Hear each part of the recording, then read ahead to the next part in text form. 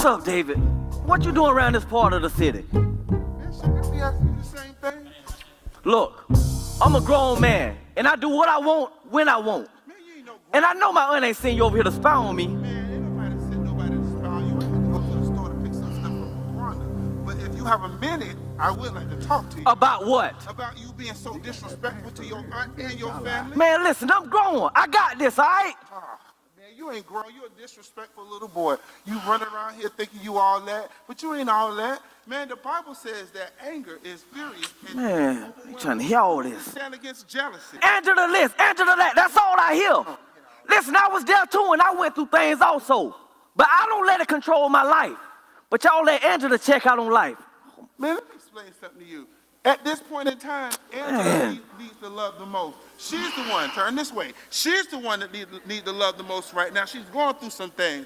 But you walking around here thinking you all that. Man. Mm. Nobody didn't know something was going on with you. You know why? Because you didn't appear that anything was wrong. You should have said something. But right now, that's where the love needs to go. But David, But David, no, shut, man, shut up. I don't want to hear all that. on, You man. walking around here talking about, I got this, I got that, I got a car, I got six figures. But did you tell anybody that your car's three months behind?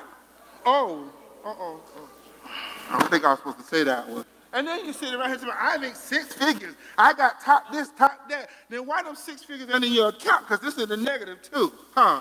It ain't in no black, it's in the red. Okay. So shall I keep going? And your wife, she skipped out on you till she left. Oh, yes, yes. Oops, I'm sorry. Did I go too far?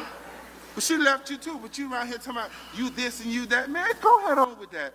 You got to understand something. The God that I serve, he'll strip you to get your attention. And the Bible says that you must seek ye first the kingdom of God and all of his righteousness, and all things shall be added unto you. God loves you. And that's what he'll do to love you and bring you in, man. His love is unconditional. Yeah. You know what, David? What's that, man? You so right. yeah, I'm You're right. I gotta admit it. You're right. I'm a witness. But your God can't do nothing for me. Oh, my God. You know what? Go. I gotta go, David. Oh, Jacob, listen. Oh, man. God,